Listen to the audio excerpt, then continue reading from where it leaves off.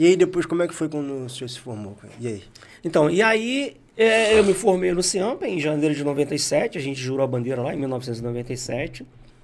É, na verdade, eu, eu, eu, vibrava muito, gostava muito de vibrar, mas eu também não, não me dedicava, não, não, não, me preocupei em ter uma excelente colocação. Eu fiquei lá no final de tropa, né? Então eu não acabei não tendo uma colocação muito boa e fui para o grupamento Fuzileiro Naval do Rio de Janeiro, que eu digo, as pessoas às vezes não, não, não gostam, mas eu digo que para mim foi, a melhor, foi o melhor ensinamento da minha vida, né? Eu passei quatro anos, seis meses e 22 dias no grupamento do, do Rio de Janeiro, né?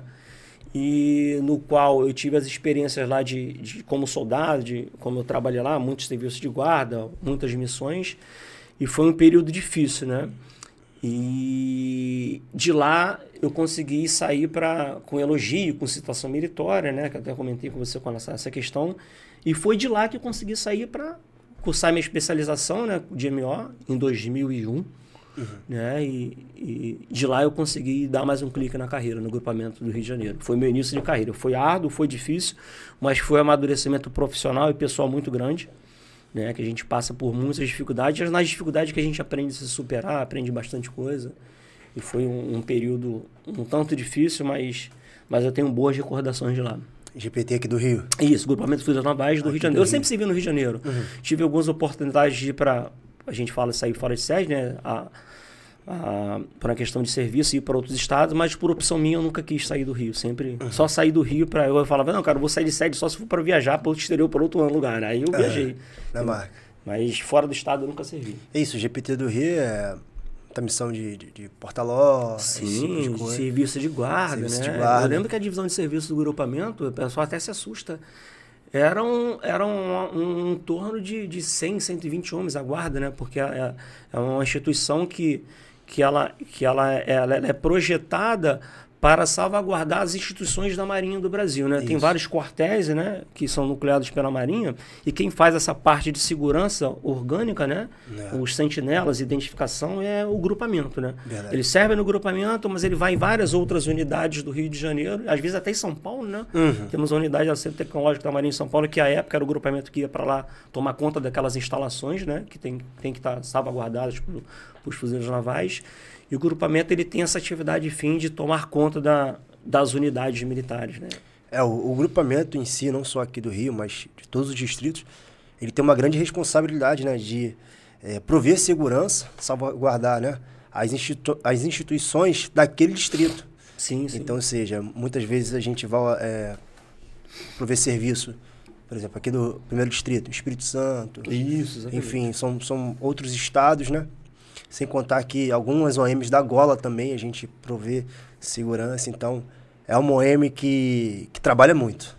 Trabalha muito. É, rapaz, vou te é enganar. Muita... Eu, sei, o, eu sei o quanto se trabalha, é bastante. Mas é bastante. é importantíssimo. Então, a atividade é, é de extrema importância, de extrema relevância, entendeu? Um trabalho é que ele tem uma dedicação ímpar, diferenciada. É muito serviço.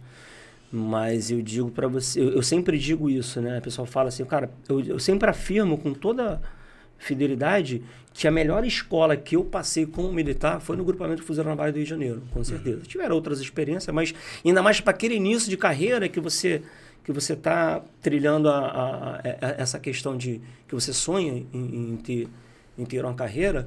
Então, aquele início ali é, é aquela questão, você realmente quer, você realmente gosta? Porque eu passei quatro anos, seis meses, 22 dias, como eu te falei, de lá eu saí com oito conceitos 5, né? Que era a avaliação que a gente tem semestral, né? Uhum. De, de 0 a 5, hoje é de 0 a 10, mudou. E meus oito conceitos 5, nove conceitos 5, na verdade, todos foram 5. Uhum. Então eu tinha elogios, eu tinha citação meritória. Então, com toda aquela dificuldade que ali teve, eu sempre me dediquei, eu sempre acreditei na instituição e era o que eu queria. Eu falei, não, cara, eu vou conseguir ficar, eu vou conseguir minha especialização e felizmente eu consegui. E foi de lá que eu, que eu saí para tocar a carreira. É justamente isso. É, é, o mais importante é manter a moral elevada.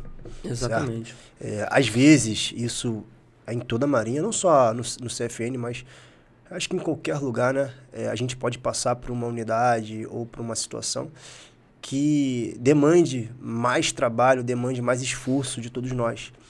E isso às vezes faz com que o combatente fique desanimado, né? Fala, pô, tô sangrando aqui e tal. É, Mas aquilo é uma fase. Sim, né? eu costumo fazer uma, é uma fase. fase. Eu falo para os garotos mais jovens hoje que estão no início de carreira, eu falo também a importância dele, dele não se acomodar, né? E ele estudar. E até costumo dizer, se aqueles que falam que, poxa, eu, eu, eu não gostei, eu vou embora. Cara, você tem todo o direito de ir embora. Uhum. Se você não está no lugar que você é feliz, você procure algo melhor. Mas eu costumo dizer, cara, mas cuidado. Cuidado com a, com a questão de, de A dificuldade está grande, né? No uhum. nosso país, ele, ele, eu consigo, continuo, continuo acreditando, né? enxergando que a gente tem tudo para evoluir, para chegar a um país top, né? Que a gente já, um país rico em muita coisa. Mas a dificuldade de trabalho aí fora, ela é grande, ela existe, uhum. né? Então eu costumo dizer, cara, se você quer, então saia, preste alguma coisa que você, se você achar que é diferenciada, beleza. Mas não, não deixe agarrar aqui, não deixe ficar ruim, não fique mal aqui. Isso. Dedique sempre ao máximo possível para você estar tá com uma carreira bacana.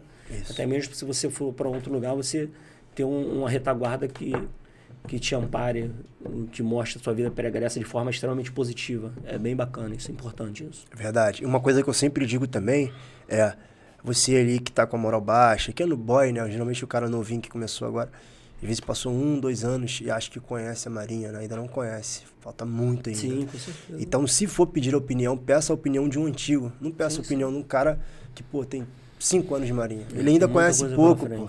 Conhece, converse com um camarada com 20 anos, um cara que serviu em várias unidades, o cara que já foi para outros distritos, outras, é, outras OMs, enfim. Porque ali ele vai ter embasamento para poder te contar. Sim, com certeza. Porque às vezes a gente acha que ela aquela rotina de serviço ali é interminável, que você vai ficar 35 anos naquilo ali. E quando na verdade tem muita coisa boa por vir. Inclusive na história é. do senhor, quem vai, é. vai passar pra gente aqui. Bastante. Que, é, pô, rapaz, apesar do, do início ali de, de muito. Uhum. Uma rotina ali até que, que monótona de serviço e tudo mais. Mas depois, porra, vieram várias e várias sim, missões, coisa coisas legais que, que o senhor vai relatar aqui pra gente. Muita coisa bacana.